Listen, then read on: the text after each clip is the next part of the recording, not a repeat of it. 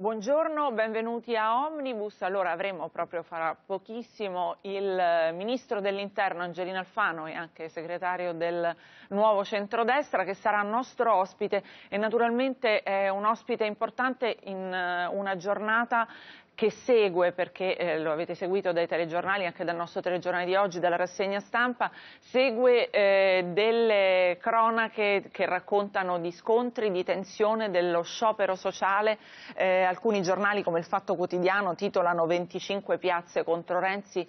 Eh, in realtà insomma, è stata una giornata sicuramente impegnativa quella di ieri, anche con il caso Tor Sapienza, i fischi al sindaco di Roma e vedremo che cosa eh, dirà il Ministro dell'Interno su questo. Intanto vi presento gli altri ospiti che sono già qui con noi. Allora Fabio Martini della Stampa, buongiorno. Claudia Fusani di Huffington Post dell'Unità, in questo momento di chiusura dell'Unità in prestito all'Huffington Post. Carlo Panella, giornalista, giornalista di, Carlo Panella. di, Carlo Panella. e anche eh, però collaboratore del Foglio.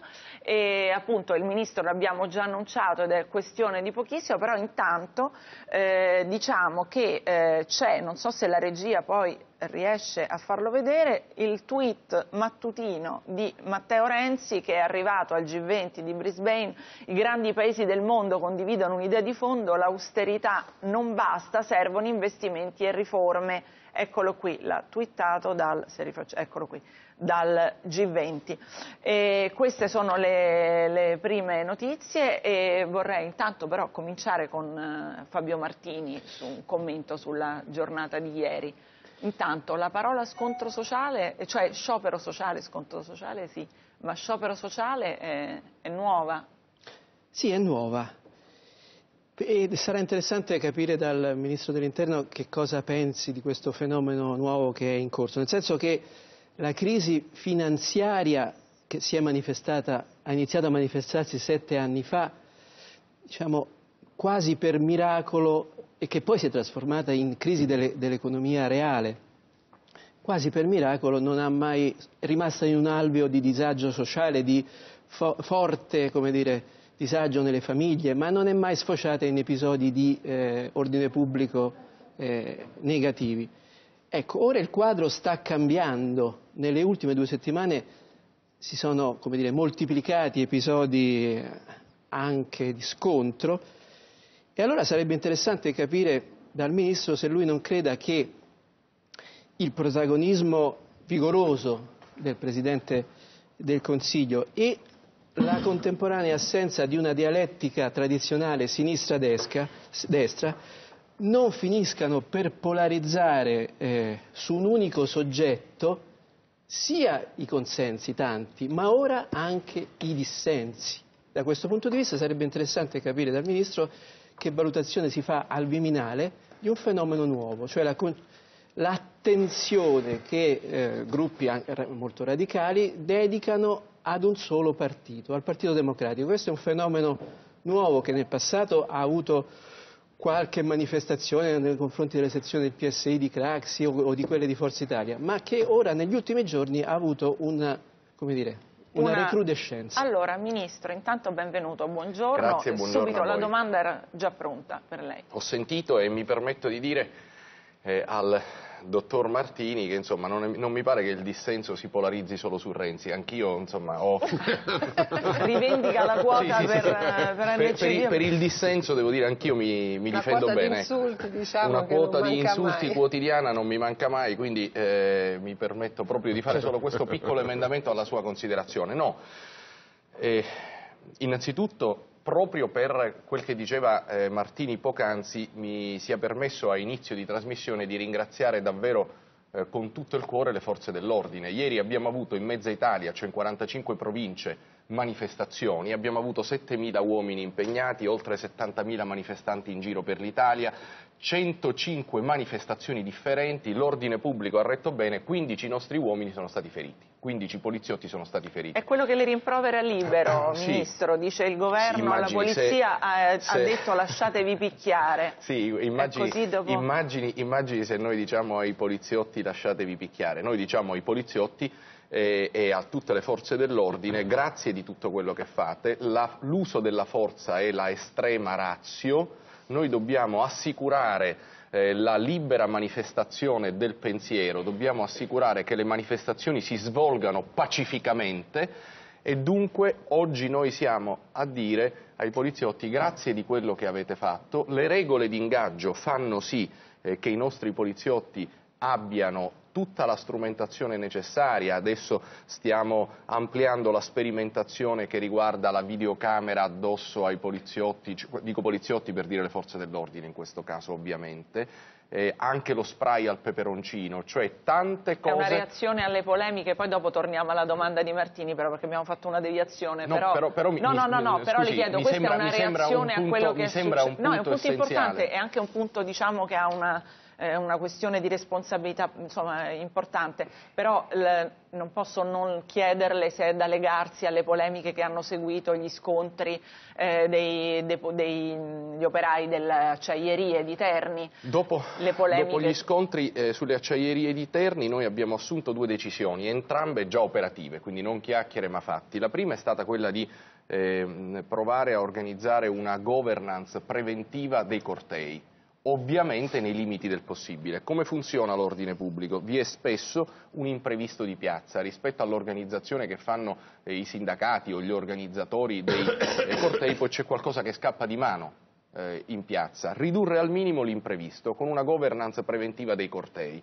È un qualcosa che a livello locale di questure, insomma di Digos, si faceva spesso e si è sempre fatta, noi abbiamo rafforzato questo elemento e giorno 12 scorso, quindi eh, quattro giorni fa, ho visto la Camusso eh, ho visto eh, la CISL, il Barbagallo della WIL, il rappresentante dell'UGL, abbiamo fatto la prima riunione. La seconda conseguenza di quegli atti è stata l'accelerazione delle nuove regolamentazioni per l'ingaggio, delle nuove regole di ingaggio che eh, sono concordate anche con i rappresentanti delle forze dell'ordine, quindi non sono imposte violentemente alla polizia e prevedono anche l'uso di strumenti diversi, ripeto, le, videoca le videocamere, eh, spray al peperoncino. Ecco, queste sono cose che hanno un duplice obiettivo, garantire lo svolgimento pacifico dei eh, cortei e assicurare libertà ai cittadini che non partecipano che hanno il diritto di muoversi nella propria città, che hanno il diritto di non vedere sfasciate le vetrine del centro e che hanno... E questo è chiaro. Eh, no, e poi c'è un altro diritto, il diritto alla incolumità dei nostri poliziotti, delle donne e degli uomini delle forze dell'ordine, dei carabinieri, della Guardia di Finanza impegnati in ordine pubblico.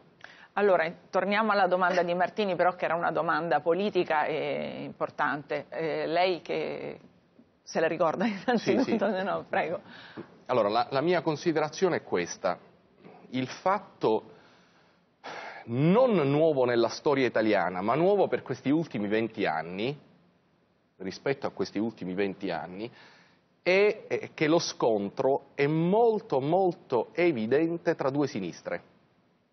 Noi abbiamo provato con il governo Berlusconi a modificare l'articolo 18 e Cofferati ha portato in piazza milioni di persone.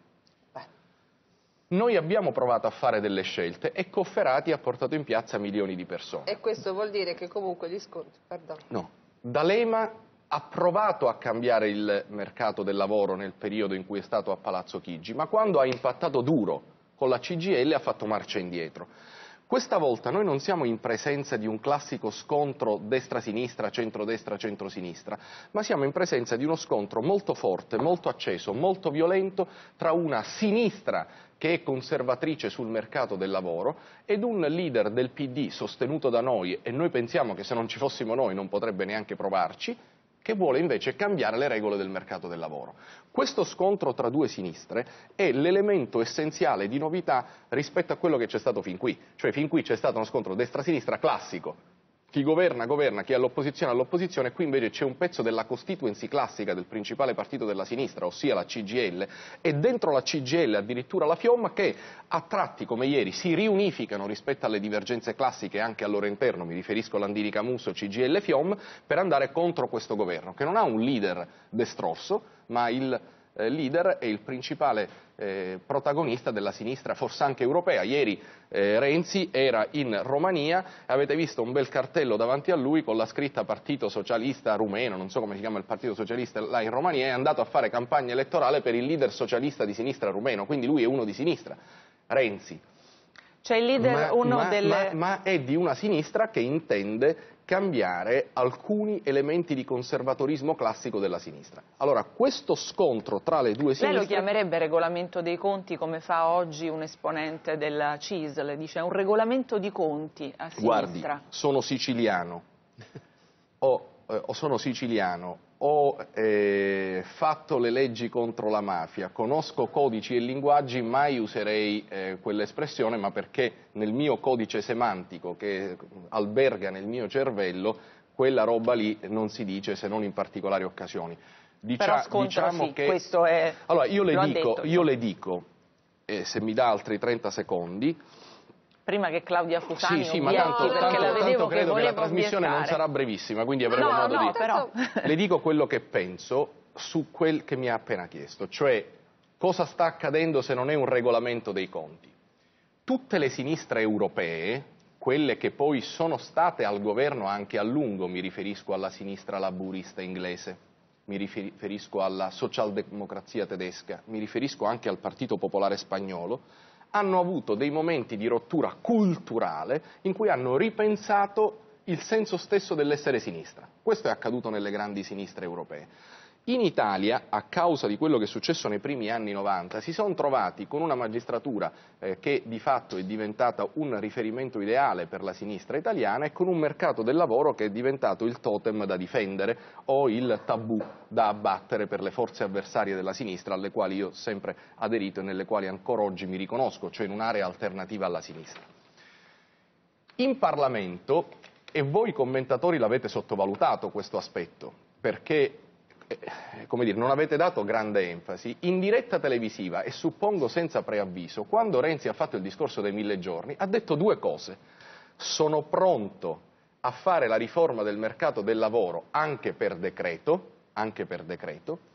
Guardate, secondo argomento, che io non credo negli avvisi di garanzia citofonati e non credo neanche che un avviso di garanzia equivalga a condanna. Ha detto queste due cose qui. Questi due elementi, cioè la virata garantista e la virata riformatrice sul mercato del lavoro, hanno fatto sì che la sinistra italiana abbia subito in qualche modo, in diretta tv e senza preavviso, una riforma radicale su due pilastri, su due elementi, cioè il giustizialismo in materia di giustizia appunto e il conservatorismo in mercato del lavoro, in materia di mercato del lavoro, che mai e poi mai nei vent'anni precedenti erano stati Chiaro. affrontati così di petto. Questo è avvenuto in questi mesi e non è stato valutato a fondo neanche dai commentatori perché, perché Quindi si è dice, ridotto poi, tutto al poi è chiaro così. che c'è un'opposizione a tutto questo. Io però, visto che stiamo su... Cioè, pensa che nella sinistra italiana siano tutti contenti del fatto che Renzi abbia assunto una posizione iper riformatrice sul mercato del lavoro e garantista sul tema della giustizia. Ovviamente nella sinistra italiana vi è molto più di un residuato che difende quei due totem. Allora, intanto per stare a un altro comunque protagonista eh, in questi giorni che appartiene all'area del Partito Democratico, andiamo con un piccolissimo contributo a Tor Sapienza, dove ieri è stato fischiato il sindaco di Roma del Partito Democratico Ignazio Marino, come tutti sanno, e che è un, insomma, un focolaio che pone una questione molto importante quale, per la quale ci interessa sentire il Ministro. Sentiamo Marino e i fischi. Io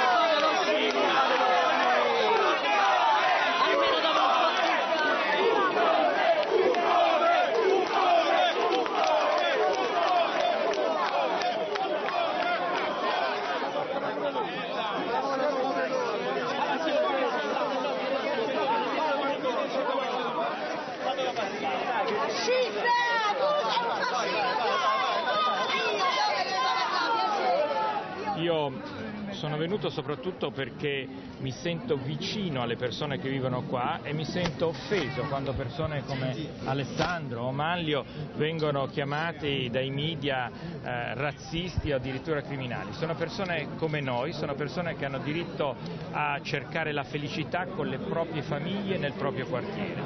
Abbiamo individuato alcuni punti e, e io ringrazio loro che rappresentando il quartiere hanno detto che sarebbero felici di vedere i loro figli crescere con bambini che vengono da altri paesi del mondo, ma vogliono avere un, un quartiere tranquillo e un centro d'accoglienza che principalmente accolga donne e bambini.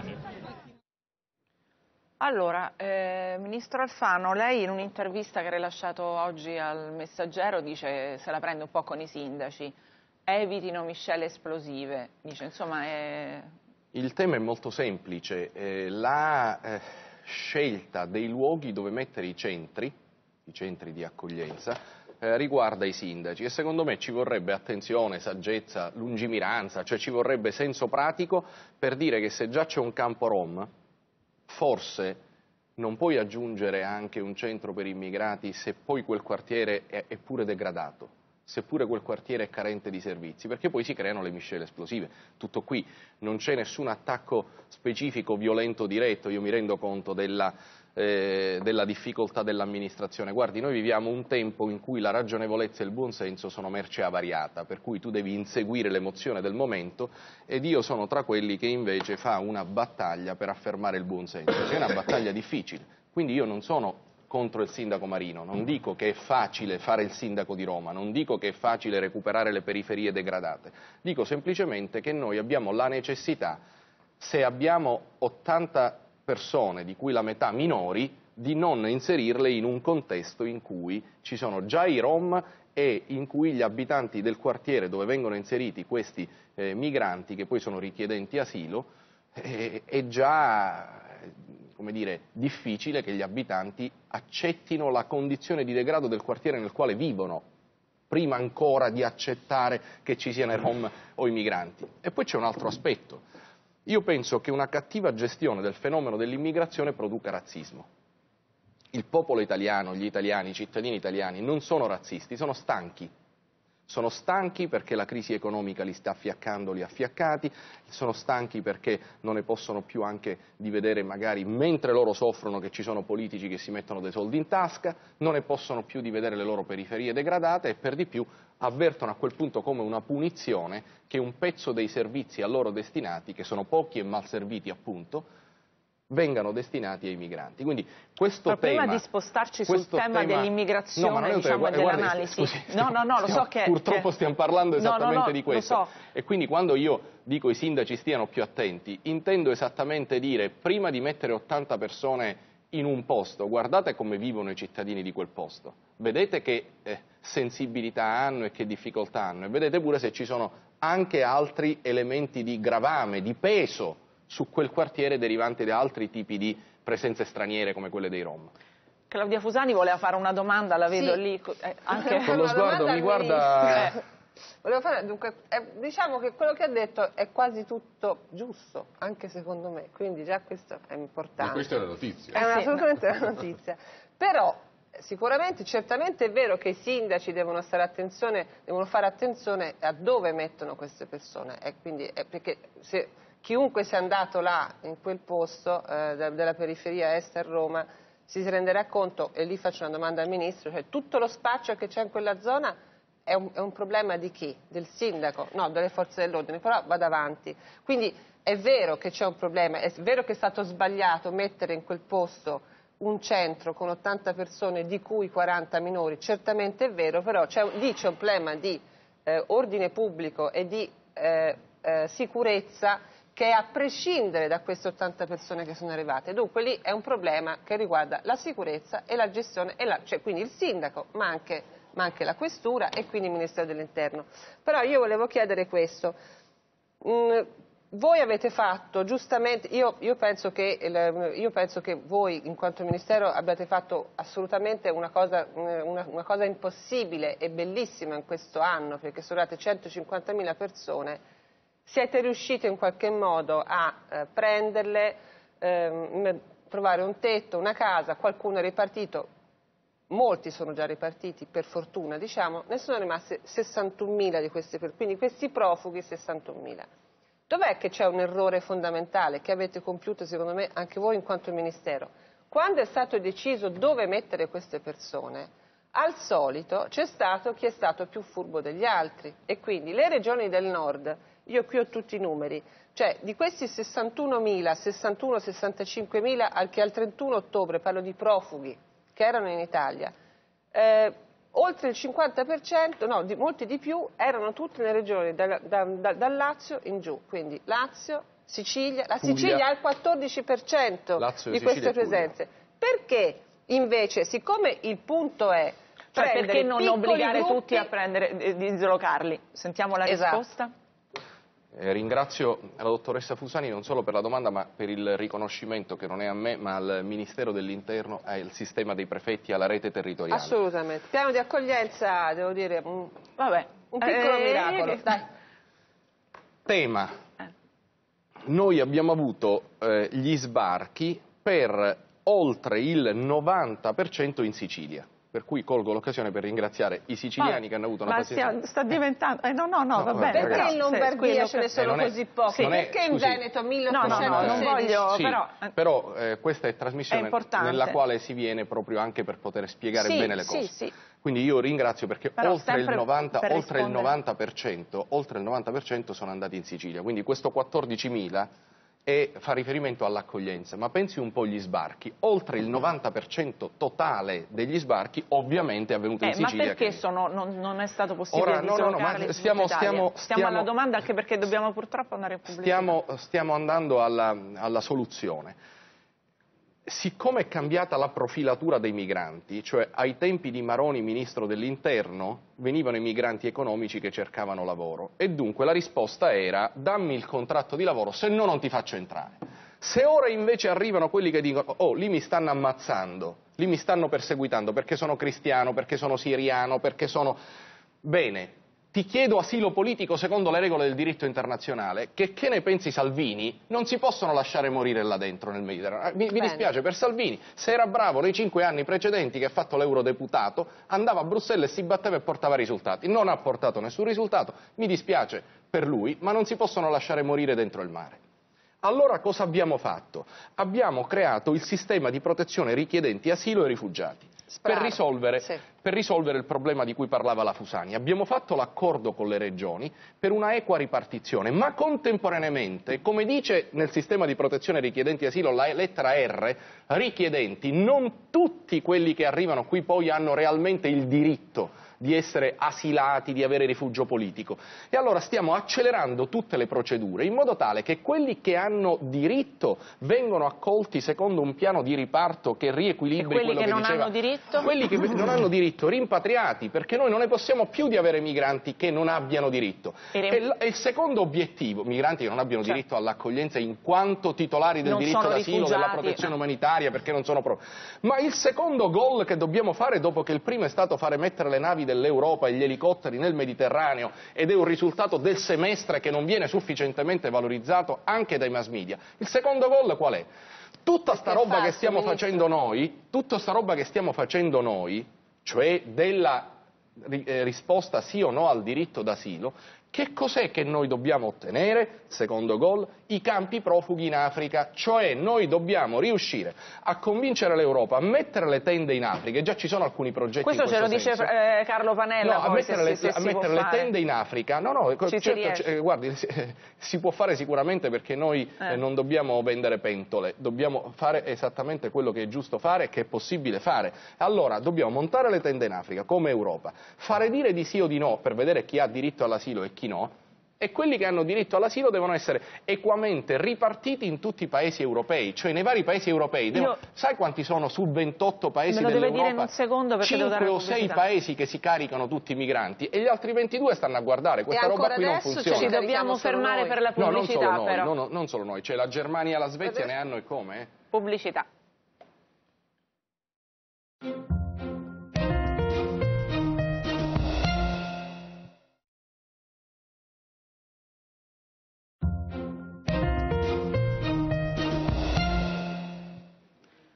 Allora, Carlo Panella, quello che si è visto, e poi naturalmente chiediamo eh, eh, al Ministro e tu, ma quello che si è visto a Tor Sapienza è stata, come hanno scritto diversi giornali ieri, anche una resa, l'idea che sulla spinta di una protesta, anche di una certa dose di, di violenza e noi però eh, ci sia stato lo sgombero deciso dal comune, eh, ma insomma stato, può essere un effetto domino, è stata una scelta anche politicamente sbagliata? No, tanto per cominciare la mia valutazione è che quello che è successo a Tor Sapienza è piccola cosa, enfatizzata in una maniera enorme dai media, ma è piccola cosa rispetto a quello che succede in tutto il mondo, non in Europa, in tutto il mondo, in America, cioè, pensiamo a quello che è successo a Norfolk, pensiamo a quello che succede in Francia, quello che succede in Germania. Eh, la novità è che eh, questa volta non si è potuto dire i razzisti, Salvini, Borghezio, la Lega, eccetera. La cosa che ha impressionato molto noi giornalisti, che siamo gli unici che del Paese non capiscono nulla, è il fatto che evidentemente fosse un movimento popolare, spontaneo, dal basso. Sì, siamo noi che stiamo avvelenando con delle visioni assolutamente parziali quello che succede. Abbiamo avuto, e questo è l'elemento interessante, una mm, rivolta molto pacifica peraltro, con più, pochissimi elementi di violenza, una rivolta popolare contro un fenomeno che è doppio, il degrado del quartiere, che è palese conseguenza della crisi, e questa difficoltà a integrare eh, o comunque a ospitare gli emigrati. Eh, eh, si possono fare delle cose sul terreno del buonsenso, ad esempio con delle consultazioni, con il funzionamento effettivo delle strutture, i municipi, via dicendo, si possono amministrare meglio le città, eh, ma insomma, morta lì, insomma, Tor Sapienza mi pare poco interessante. Molto poco. più interessante la parte precedente del nostro dibattito, cioè il fatto che va fatto un passo avanti rispetto a quello che hanno detto Martini e Alfano. Cioè, non soltanto qui stiamo assistendo a un fenomeno unico al mondo, cioè che la contestazione del Però governo... ti fermo perché su quello poi, siccome voglio far sentire anche Landini ad Alfano proprio su questo tema, invece vorrei chiedere al Ministro, eh, il caso Tor Sapienza, una... ha ragione Panella che dice che in realtà è una piccola cosa, è una grande cosa, lei dal Viminale ha sofferto eh, come dire, nel vedere che si cedeva a una, perché si è letto anche di un malumore del Viminale rispetto alla scelta di effettuare lo sgombero perlomeno dei ragazzi. Ma si è, si è letto, come spesso accade, su un solo giornale che ha voluto dare un'interpretazione, su altri giornali si è detta Quindi secondo lei ha fatto bene Marino? Ma eh, guardi, non c'era alternativa, stiamo parlando dei minori, quindi io non ideologizzerei la scelta del trasferimento, non, non c'è un dato ideologico, se lì ci sono dei minori e a seguito delle proteste su cui abbiamo già fatto l'analisi, vengono rotte le finestre, i vetri, diventa abbastanza inagibile o comunque difficilmente agibile, tu chi sposti per primo, gli adulti o i ragazzi? Sposti prima i ragazzi che non sono stati deportati chissà dove, sono stati messi in un altro quartiere di Roma dove c'era un locale più agibile.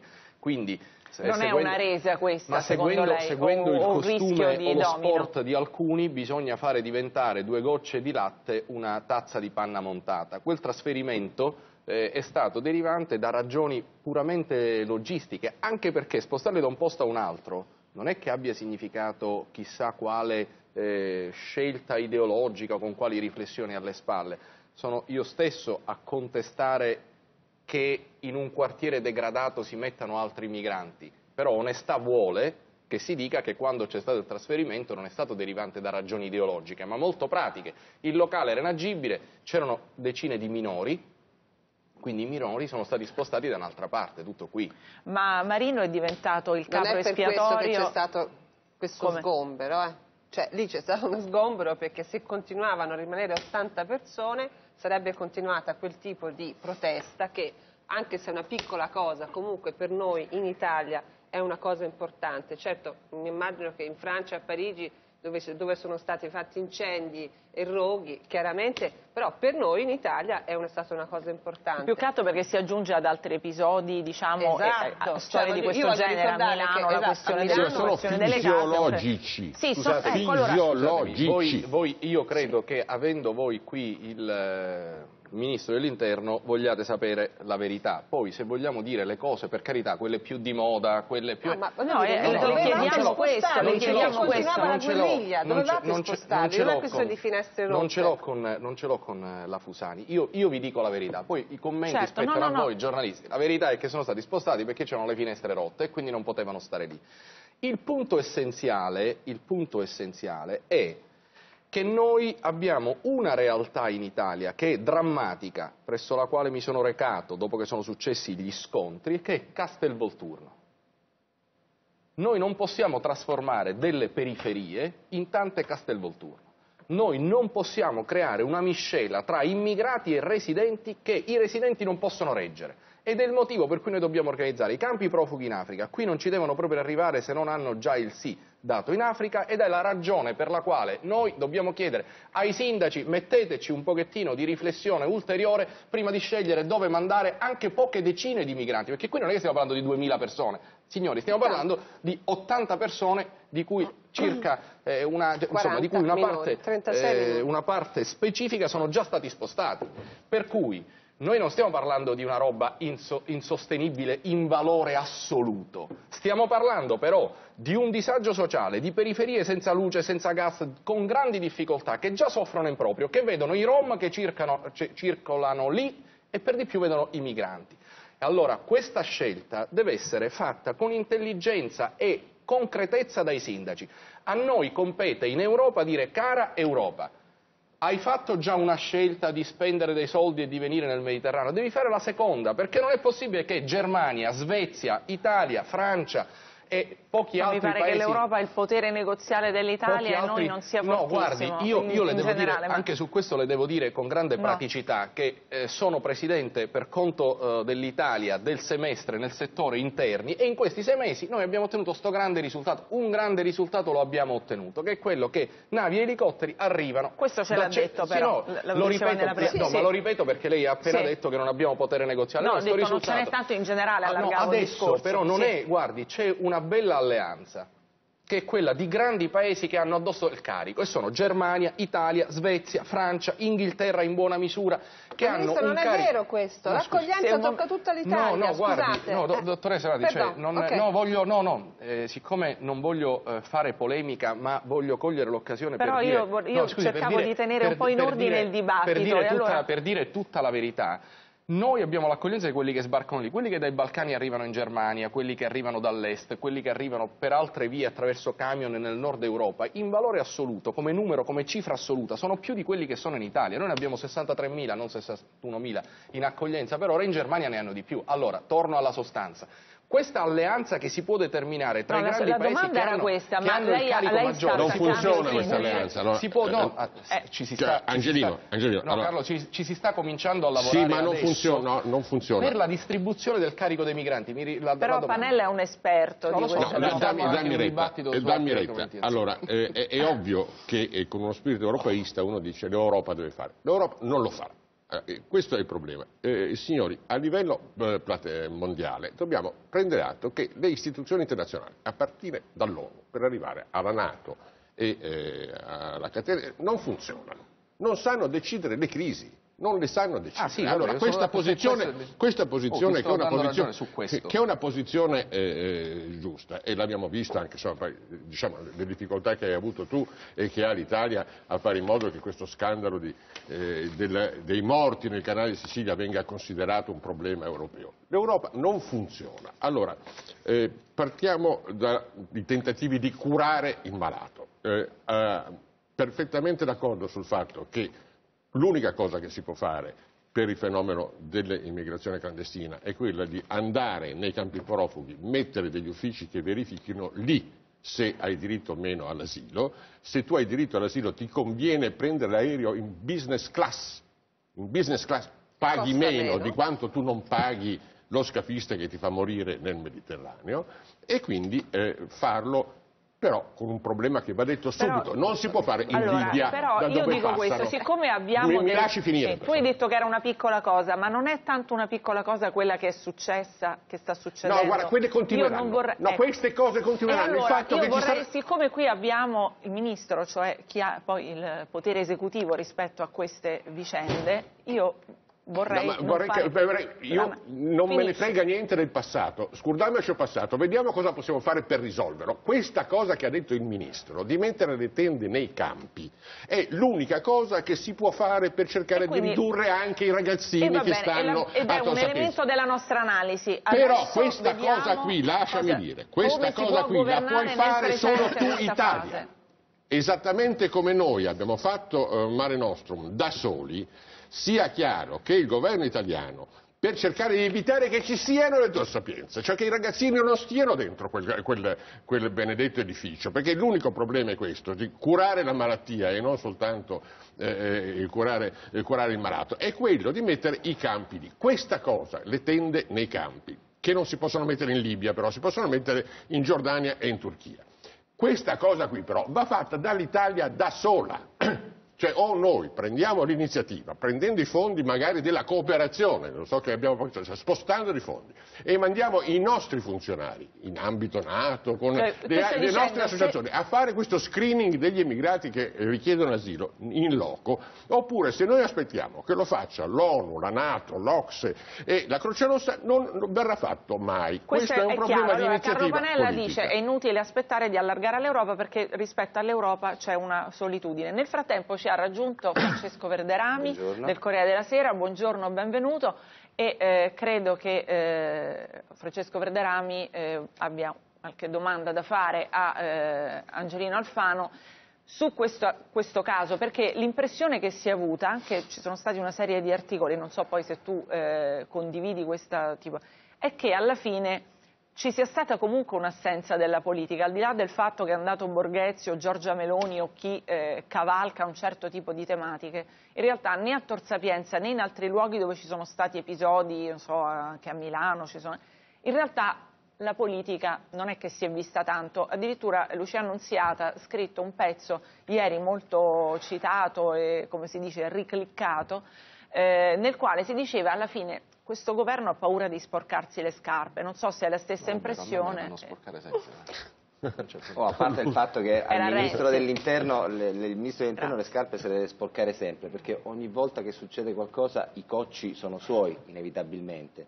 Eh, sono suoi i cocci quando per esempio le due sinistre si scontrano, quando il Presidente del Consiglio fa salire la tensione con la CGL e poi si crea qualche altra cosa, naturalmente che non è da parlato. ascrivere al Presidente, al Presidente del Consiglio, si scarica anche sul, ehm, sul Ministro dell'Interno e, e su questo punto vorrei che si sollevasse un velo di ipocrisia, si mh, paga anche i cocci di un disastro di politica estera dell'Occidente.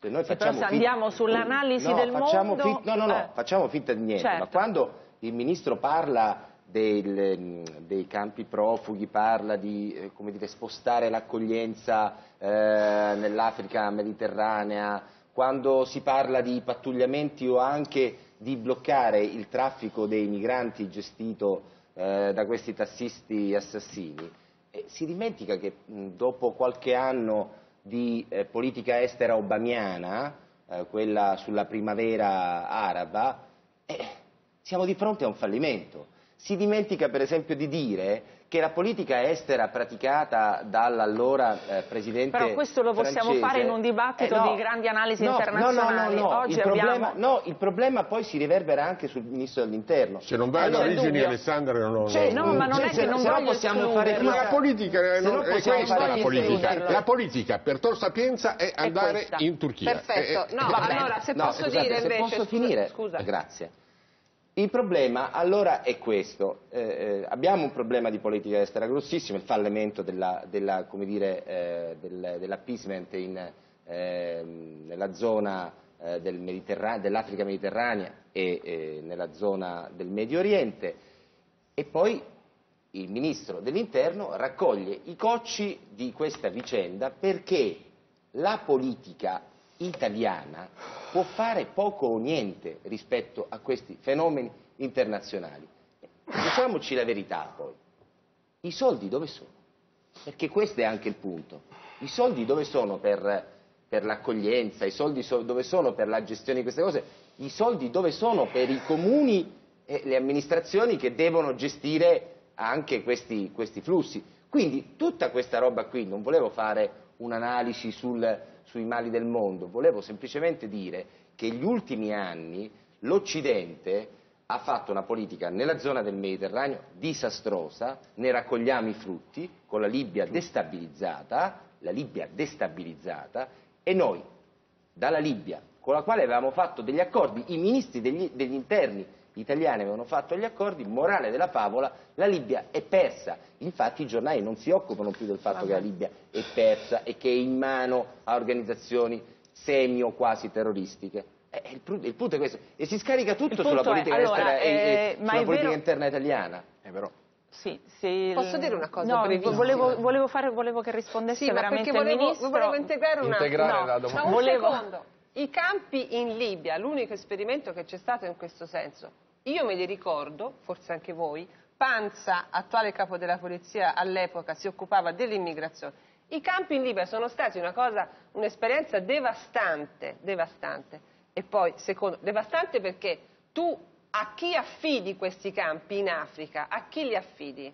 A te, stesso, a te stesso, con i militari, a te stesso con e i dove militari. li fai adesso i campi? In, in Turchia Africa? e in Giordania dove ci sono 6 milioni di profughi. Ministro, però mi dispiace di fare la parte perché secondo me sono state dette delle cose molto utili per l'analisi anche ad integrazione di quello che lei ci aveva detto, quindi mi dispiace di fare la parte di quella che riporta tutto nella dimensione locale però credo che ci sia una dimensione locale, non romana, locale nel senso nazionale importante e politica alla quale cerco di tornare. Eh, le facevo questa domanda, facevo questa domanda, osservazione che forse potrà apparire banale, però che eh, lei ritiene che ci sia stata un, un, c'è una latitanza della politica che viene in tutte queste eh, circostanze, come dire, addebitata a Matteo Renzi, però al governo di cui lei fa parte ed è un ministro ovviamente di, eh, di grande peso e, e, tra l'altro di ruolo operativo rispetto a queste questioni. Lei ritiene che sia infondata questa critica, l'idea che eh, appunto il governo non si voglia sporcare le scarpe, che alla fine sì c'è andato Marino, è stato fischiato, però è l'unico capro espiatorio che si è trovato di una situazione che eh, naturalmente eh, Carlo Panella riconduce a una dimensione ridotta ma che comunque ha un peso per chi ci abita, per il potenziale anche di contagio rispetto ad altre realtà. Quindi eh, guardi, è un Renzi che non si sporca le, le scarpe le rispondo, neanche lei. Le rispondo, eh, rispondo alla domanda, però poi mi permetterà, magari dopo, rispondo alla sua domanda, però dopo mi permetterà di fare alcune considerazioni su ciò che ha detto Verderami e anche su ciò che ha detto la Fusani. Allora, la risposta è questa. I sindaci sono eletti direttamente dal popolo. I sindaci sono eletti dai cittadini delle loro comunità che mettono la croce sul loro nome e poi hanno tante attese. Quindi è evidente che se le cose vanno bene a Roma il merito è di Marino, se vanno male la colpa è di Marino, se no sarebbe troppo comoda cara Sardoni, cioè è ovvio, no? Mi, mi sembra fin troppo ovvio. Al limite Marino è stato rimproverato perché è arrivato lì dopo un po' di giorni, ma questo attiene sue, al suo rapporto con la città nel quale io non entro. Il punto essenziale, ed io notoriamente non sono marxista e non sono marxiano, è, è, è l'analisi economica della realtà. Noi con il governo stiamo combattendo la crisi perché sappiamo che migliorando le condizioni economiche del Paese l'impatto è ovunque. Ma se è vero questo, è vero anche quello che diceva Verderami poco fa, cioè, lo dico in termini calcistici, il Viminale, il Ministero dell'Interno, è come il portiere di una squadra di calcio. Se funziona il filtro al centrocampo, se funziona difese, la difesa, il portiere rimane inoperoso. Ma se il filtro a centrocampo non funziona, se non funziona la difesa, in porta arrivano un sacco di palloni. E allora cosa si verifica? Che se l'Occidente sbaglia in Libia, Libia diventa una roba ingestibile e tutti i profughi partono da lì, poi chi ci deve badare? Il Ministero dell'Interno. Se ci sono i licenziamenti all'asta di Terni e questi vengono a protestare a Roma e mentre loro protestano in piazza Indipendenza ce ne sono altri 300 sotto della Jabil di, Ma, della Jabil di Marcianise e quelli vogliono andare lì, chi paga il conto? Il Ministero dell'Interno. Se c'è un problema di degrado delle periferie sociali e poi nel frattempo ci sono i Rom e poi nel frattempo ci sono gli immigrati e i cittadini si arrabbiano perché già loro sono arrabbiatissimi perché non ci sono i servizi, chi lo paga il conto? La polizia e il Ministero dell'Interno. Allora, in porta arrivano tanti palloni perché ci sono altre cose che non funzionano prima e questo è il senso di una considerazione di Verderami che io condivido. Quindi la politica, altro che non è latitante, se si sta facendo una politica economica per fare ripartire il Paese togliendo, abbassando l'IRAP alle imprese, se si sta facendo una politica economica di dare 80 euro per sostenere i consumi, se si sta facendo, e questo è merito molto nostro, una politica a favore della famiglia per dare mezzo miliardo a chi fa figli, è perché un paese, un popolo come quello italiano che non fa figli, è inutile che immagina di contrastare l'immigrazione con natalità italiana zero. O noi facciamo figli noi italiani, oppure faremo la parte di quelli che vogliono fermare il mare mettendo le mani così. E allora l'obiettivo deve essere quello di rimuovere le condizioni di questo disagio, di questa difficoltà sociale. E come lo si fa? Lo si fa partendo da una politica economica seria e facendo sì che l'ordine pubblico e la sicurezza facciano percepire l'Italia come un paese sicuro nel quale vivere da parte degli italiani. Anche l'azione che noi stiamo facendo con gli sms, che può sembrare una roba minimalista, noi abbiamo attivato in tutta Italia dei servizi per segnalare lo spaccio di droga direttamente con il telefonino, in modo tale che con il telefonino ci possano essere segnalati i casi di spaccio davanti alle scuole, i casi di bullismo, cioè noi dobbiamo andare sempre di più a una partecipazione sulla sicurezza da parte dei cittadini e penso che da questo punto di vista le cose stiano funzionando. L'elemento essenziale oggi, eh, riparto da ciò che avevo detto all'inizio quando ho cominciato a parlare, è che si sta verificando una cosa del tutto nuova, o meglio, o meglio, che non si verificava da alcuni decenni, non nuova nella storia italiana, ma che non si verificava da alcuni decenni, cioè uno scontro tra due sinistre su una questione fondamentale, allora, il lavoro. E, questo... e questo, scontro, questo scontro ha una ricaduta che può anche essere in ordine pubblico. Posso chiederle una cosa alla luce delle sue parole, poi non lo so, mi piacerebbe sentire anche cosa ne pensa Fabio Martini eh, di questo, visto che era partito da lui anche questa riflessione, ma eh, non è che sta dicendo che alla fine è un po' il Ministero dell'Interno il capro espiatorio, diciamo così. Io facevo la domanda su Marino, ma invece tutto sommato a Renzi va bene che ci sia eh, Beh, una figura che non è del Partito è Democratico. No, non va, non va, non va eh? bene, eh, no, forse Martini, a chi Martini. ha fatto la domanda? Eh, stavo no, no, no, prego, stavo... prego. Prego, prego. Questa era una malizia per dire una, una, poltrona scomoda anche per tanti casi che abbiamo visto insomma, in questo periodo e poi, di cui poi riparliamo magari. Ci ha mai pensato lei che forse era Come? meglio non essere, visto che lei è il leader del nuovo centrodestra, non essere no, penso, ministro dell'interno? Guardi, io ci penso eh, eh, tutti i giorni ed io mm, che non sono uno che eh, specificamente ce l'ha con i giornalisti, ci penso a quel che dice lei tutte le mattine, perché vedo tanti giornalisti renziani, quando leggo la rassegna stampa, che siccome sono molto molto appiattiti, a volte inginocchiati su Renzi, ma devono fare capire ai loro lettori che sono autonomi, per dimostrare che non sono governativi al massimo attaccano me. Ma chi è intelligente sa bene che attaccano me per fare finta di essere autonomi e indipendenti rispetto all'inginocchiatoio renziano al quale hanno già fatto atto di devozione. Quindi che ci sia da parte di alcuni giornalisti, ovviamente potrei fare nomi e cognomi, avrei voglia di fare tanti dibattiti con loro, ma potrei eh, fare un Io mi metto elenco. in coda per una replica dopo, eh? No, no, no, no, no. La, la, la, Fusania, c'è Martini, la Fusania, finisce il ministro, la, Martini, Fusania, poi la replica la, Fusania, la Fusania ogni tanto attacca Renzi, quindi devo dire che non, è, no, non, fa, parte, non, non fa parte di questo elenco. Il punto di fondo, punto di fondo è che eh, il Ministero dell'Interno è strutturalmente un Ministero esposto. In questo momento in cui oggettivamente non c'è nessun gruppo editoriale contro il governo, caso unico nella storia italiana, e quando c'è qualcuno che deve fare vedere che c'è un refolo di autonomia, di indipendenza della libera stampa, boom, attacca a me gli viene facile, però siccome io non solo ho le spalle larghe, ma ho buona coscienza e cose fatte che posso E pensa che, che sia compatibile con il ruolo di, di segretario, insomma, ma guardi, ovviamente qui, quella, eh, qui quella abbiamo, lì. Qui, ecco, questa, io non voglio, eh, come dire, eh, eh, fare lo psicologo, però se questo discorso della compatibilità con il ruolo di segretario di leader del partito vale per lei? Per no, no, io lo facevo perché viene dall'interno no, vale, di NCD. No, va, vale, vale, per il Ministro dell'Interno, perché dovrebbe non valere per il Presidente del Consiglio che rappresenta l'unità della nazione all'estero? Non, dovrebbe non, vede, cioè, le faccio una no, battuta no, per dire, vede che lei sta... Di, cioè, il non leader... sono dei giornalisti che dicevano, no, no, ma glielo chiedevo perché ieri, viene Martina, dal suo partito il nostro Presidente del questa, Consiglio, questa ieri, ieri, ieri, il nostro Presidente del Consiglio apro una parentesi, e ha fatto Però... bene tre punti esclamativi, chiusa parentesi, dal suo punto di vista ha fatto bene tre punti esclamativi il nostro, di tutti gli italiani è andato in Romania a fare campagna elettorale per il leader del partito socialista di sinistra della Romania, ma è il presidente di tutti gli italiani. Per lui non si dice che è anche il segretario del PD, Per me sì, ma siccome io, ripeto, non è che abbia, eh, diciamo, ho le spalle larghe e mi, eh, mi, difendo bene da solo, però il riflesso dei giornalisti dice, ma scusa, tu fai il ministro dell'interno... No, no, le ripeto, era semplicemente perché scusami, viene dal suo fai, partito sì, questa no, osservazione, ma, ma però devo dare la pubblicità, tu fai il ministro non, non, non viene da me. No, no, comunque, tu sì. fai il ministro dell'interno e sei leader del tuo partito, invece era no, il Presidente del Consiglio che fa pure il leader del PD, siamo tutti d'accordo. No, perché si scarica tutto sul Ministero dell'Interno, diceva, ci fermiamo Vabbè, per la pubblicità, siamo in ritardissimo.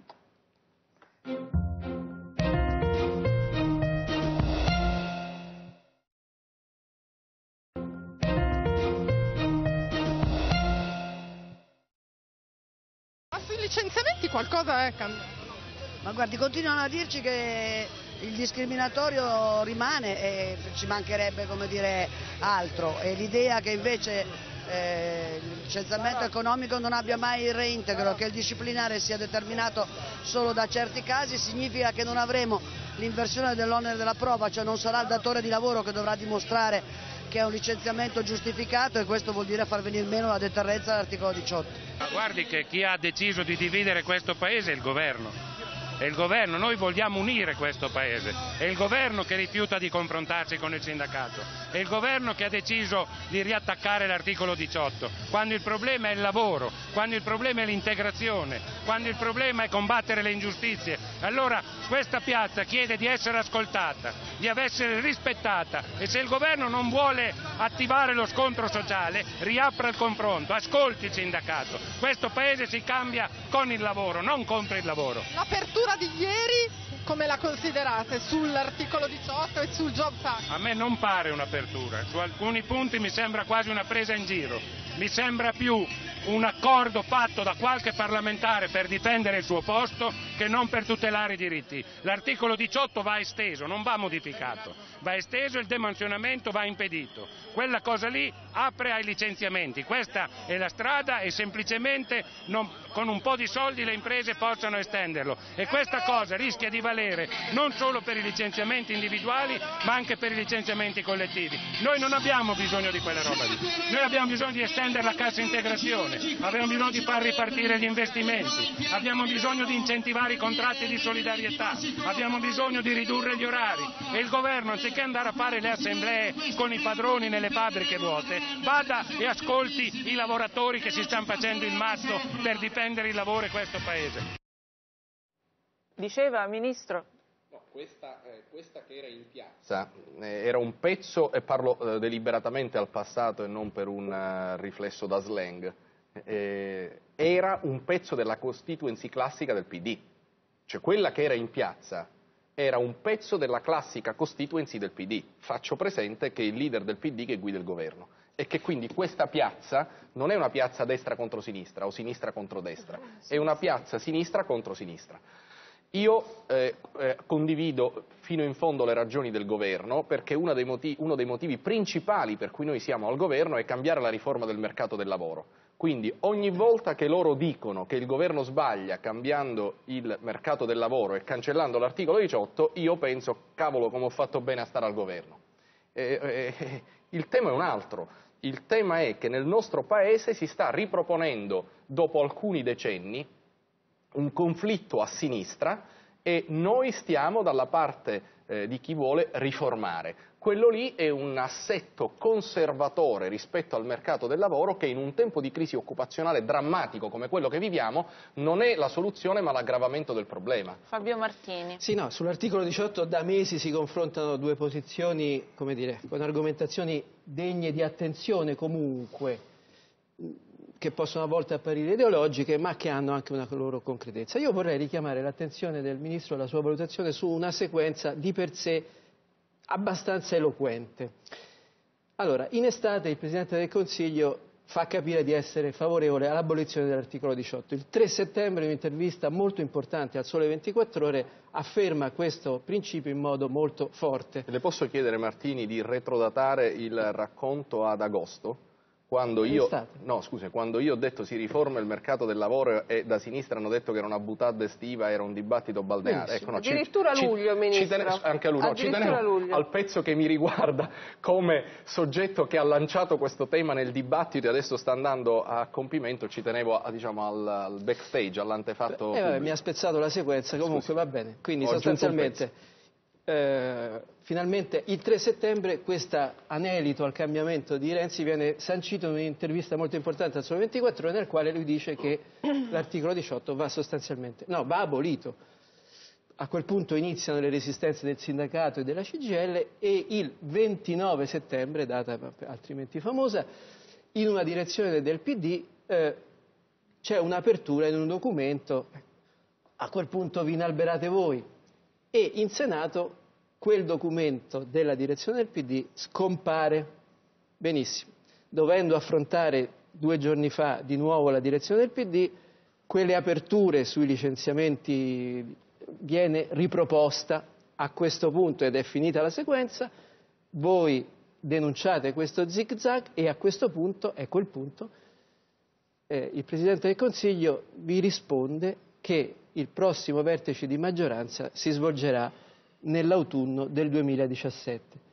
Allora le chiedo, il protagonismo finora vincente di Renzi non sarebbe più efficace se ci fosse un maggiore rispetto di tutti gli interlocutori? Sì, io la ringrazio davvero eh, per questa domanda. Noi abbiamo grande rispetto del Presidente del Consiglio e eh, lo dico pubblicamente, ci sentiamo molto rispettati dal Presidente del Consiglio. Potrei fare una sequenza di atti di rispetto e di corretto rapporto con gli alleati. Noi dei vertici di maggioranza ce ne freghiamo perché i vertici di maggioranza spesso diventano vertici di circostanza piuttosto che di maggioranza, mentre a noi interessa la sostanza nella maggioranza e neanche la circostanza ci interessa, ci interessa la sostanza. Allora la sostanza qual è? Che noi volevamo la riforma dell'articolo 18 e noi stiamo ottenendo la riforma, anzi la cancellazione dell'articolo 18 che il PD ha fatto una direzione nel giorno del compleanno di Berlusconi e di Bersani, il 29 di settembre, ecco perché diceva altri, giorno altrimenti noto, e ha deciso in casa propria quale dovesse essere la linea.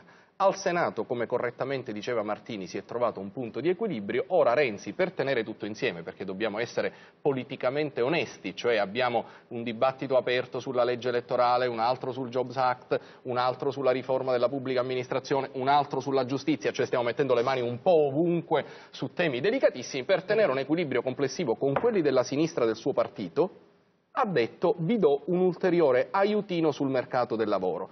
Noi che già ci siamo passati e siamo bruciati dal rapporto con la sinistra del PD, e siamo bruciati dai tempi della Fornero perché avevamo cominciato bene ed è finita malissimo per colpa della sinistra del PD, abbiamo detto oh fermiamoci tutti perché non è che facciamo un altro bluff, facciamo una roba seria, cioè l'articolo 18 se ne deve andare davvero e dobbiamo fare una riforma del mercato del lavoro che non sia un proclama ma sia un fatto di sostanza che Adesso aiuti alla luce delle ultime trattative si sente garantito? Alla luce delle ultime trattative mi sento garantito perché i nostri Quindi si che sono hanno visti... ragione, ha ragione Landini e non la minoranza del PD dal loro punto di vista? Guardi, io non sono l'arbitro tra le ragioni altrui.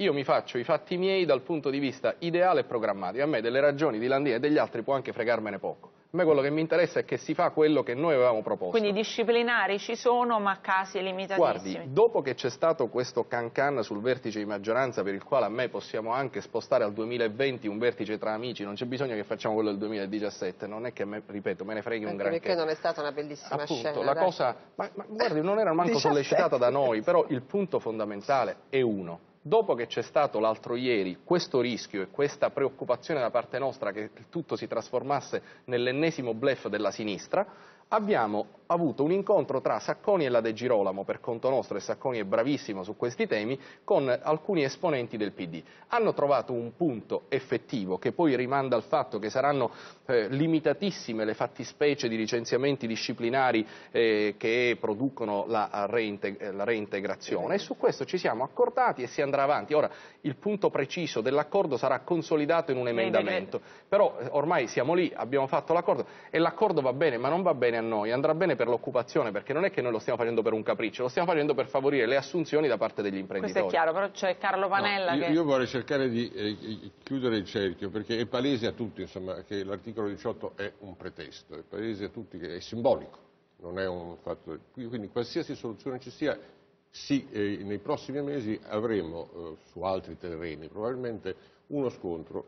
A torto Alfano quando dice dopo alcuni anni, no, è la prima volta in assoluto che succede che la sinistra riformista, non la sinistra extraparlamentare, la sinistra di Bertinotti, la sinistra comunista, ma che si, sia uno scontro che vede eh, da una parte gli ex PC, perché questa è la verità, gli ex PC dentro il Partito Democratico contro una dirigenza che non è neanche ex democristiana, ma che è della Margherita, che però non è in grado più, per errori propri e per storia del Paese, di avere un ubicon system e che viene rilevato dal sindacato ex comunista CGL FIOM, un sindacato peraltro che era minoranza, rappresenta la minoranza dei, dei- eh, dei cittadini.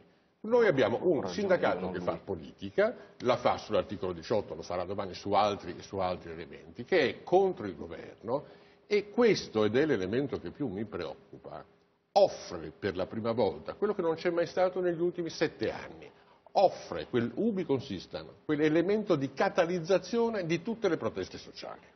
Cioè fino ad oggi tutti ci chiedevamo ma com'è possibile che con questo depauperamento della popolazione, la disoccupazione, quello che sta succedendo, i giovani che non trovano lavoro eccetera, non ci siano delle manifestazioni corali. Adesso ci sono perché?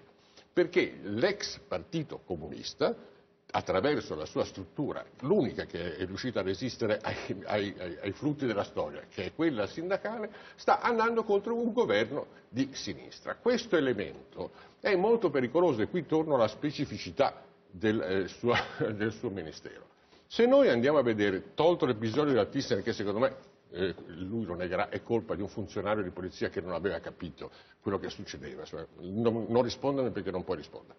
Ma tolto l'episodio della Thyssen, tutti gli altri episodi di violenza di piazza che noi vediamo che coinvolgono manifestazioni di lavoratori, non vedono i lavoratori che vanno contro la polizia, ma, e questo è il solito cinismo della sinistra ex staliniana, vedono le manifestazioni di lavoratori che ospitano e non li arginano come facevano un tempo i centri sociali e i centri sociali che incominciano a tirare, abbiamo visto, che incominciano a tirare eh, eh, quando va bene bombolette di, di vernice sui poliziotti, quando va male bombe carta e, o addirittura fanno, fanno- fanno l'attacco. Qui c'è una politica cinica che sta facendo Landini e Camusso, che non funzionerà non per criteri estetici o etici, che non funzionerà semplicemente perché non ha una prospettiva, è una politica di eh, distruzione e di usuramento eh, del governo. E qui chiudo su una cosa, perché Renzi non si occupa di queste cose?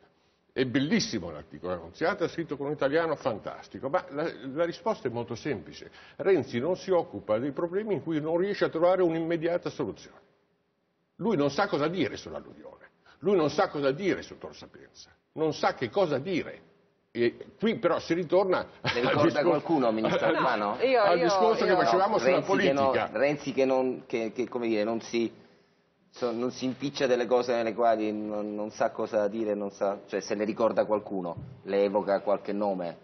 Uno che Vabbè, ha fatto poi il proprio Marino, no, eh, il Marino. compleanno il È il 29 giornalista- il giornalista La- Marino. No, così. No, la- secondo, eh, secondo me il punto essenziale sarà la conclusione di questi provvedimenti. Provo a riportare, dopo le considerazioni secondo me molto opportuna, eh, almeno una parte delle cose che ha detto Panella, provo a portare a Ma quella- lei, condi- lei, No, dice sono che- opportune, lei condivide questa analisi di Carlo Panella in cui si parla anche di cinismo Guardi, di una parte, eh, cioè lei ci vede del cinismo e, e ci vede anche del rischio, perché poi questo è allo specifico eh, del, del suo ruolo, Guardi, io di clima. eh, quando, quando valuto i comportamenti pubblici prescindo dalla, dal comportamento altrui sul cinismo, perché se quando parliamo di morti nel Mediterraneo e altro e vedo determinate posizioni, quindi No.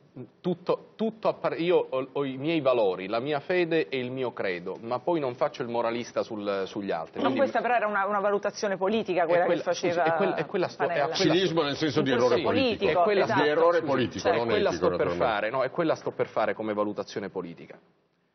Renzi ha chiesto durante la riunione con me e con altri e l'indomani durante la riunione con il presidente Silvio Berlusconi una cosa, anche qui, eccetto forse Verderami che l'ha ripresa in un suo pezzo di qualche giorno fa, è anche qui sottovalutata, perché il punto che unisce il documento di maggioranza al documento dell'indomani con Berlusconi, le date.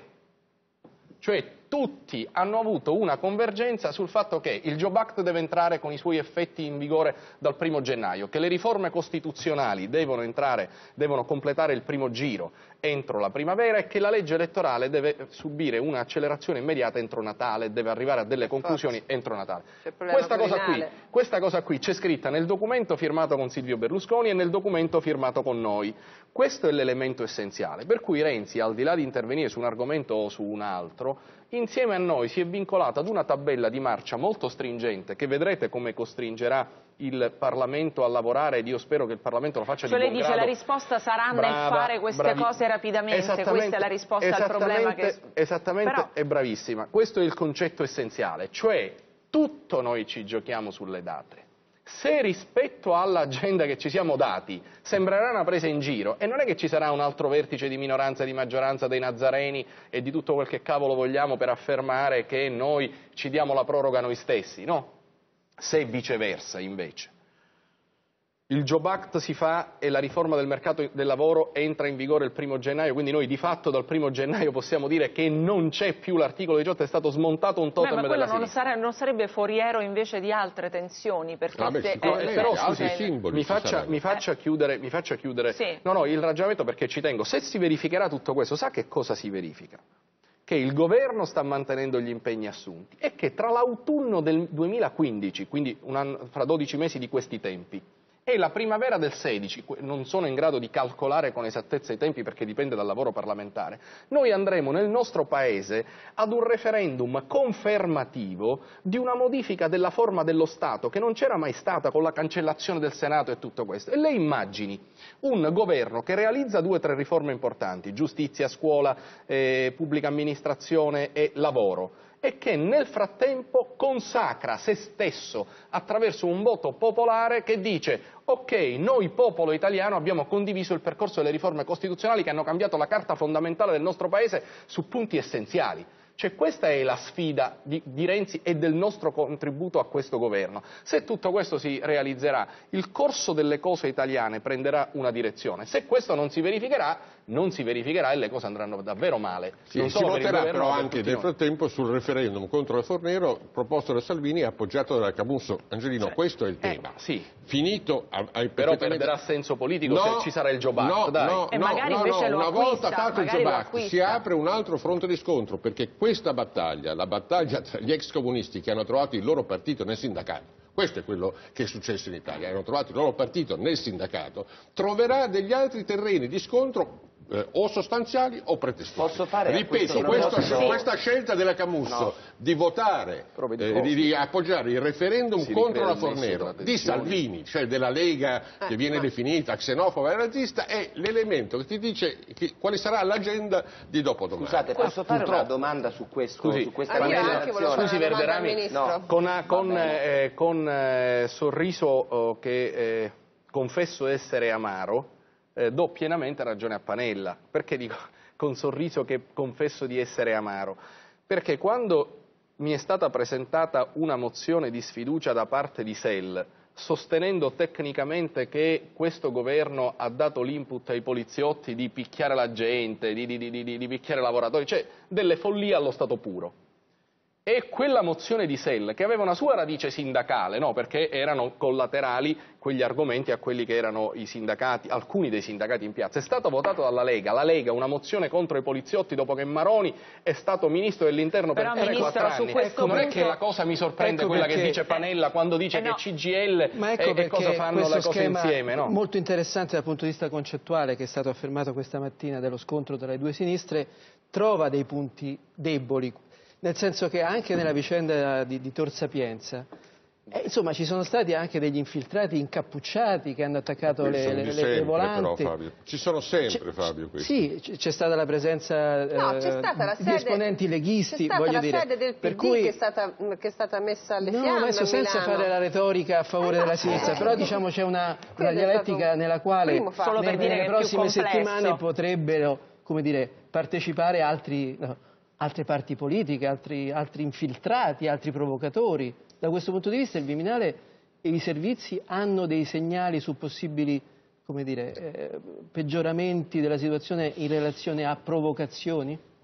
Eh, secondo me, e non voglio fare il mediatore tra i due, hanno ragione sia Martini che la... No, però quella è una don più che, che ha ragione, è così, cioè il Viminale ha questi Sì, segnali. eh, no, Martini diceva incappucciati e infiltrati e la Fusani diceva c'è stato anche l'attacco alla Sì. sede del Partito Democratico. Sono vere entrambe le No, cose. certo che sono Ho vere, però la domanda è se c'è un- dire, un livello di allarme questo. più- Allora, ehm, ci sono due elementi. Il primo, io sono chiama- stato chiamato in aula ad un question time prima dell'estate in cui mi è stato chiesto a proposito dell'aggressione alle sede del PD e ho risposto pubblicamente in aula così come sto per dire, e cioè che l'approccio riformatore del segretario del Partito Democratico, che è anche Presidente del Consiglio, sta esponendo ad una contestazione molto violenta il Partito Democratico. Questo è un punto già, come dire, da me certificato in atti parlamentari.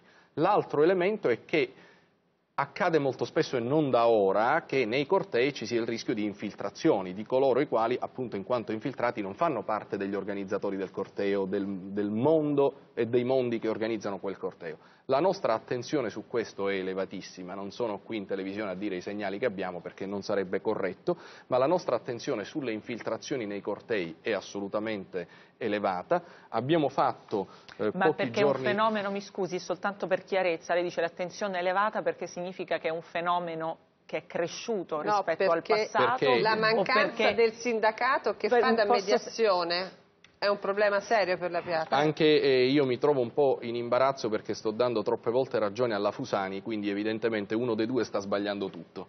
La Ma- cosa che, eh, la cosa che voglio dire è che il motivo anche per cui noi abbiamo fatto la governance preventiva dei cortei, abbiamo chiamato il sindacato, abbiamo- per cui abbiamo apprezzato che il sindacato si sia seduto insieme a noi, è proprio perché la premessa di cui parlava la dottoressa Fusani è vera, cioè noi non abbiamo nulla da guadagnare da una delegittimazione delle forze sindacali, proprio anche in termini di ordine pubblico, cioè il nostro interesse istituzionale, non elettorale, non politico, non partitico, ma istituzionale è che i sindacati, in riferimento ai movimenti di protesta sociali, siano davvero delle leadership, abbiano davvero delle leadership forti.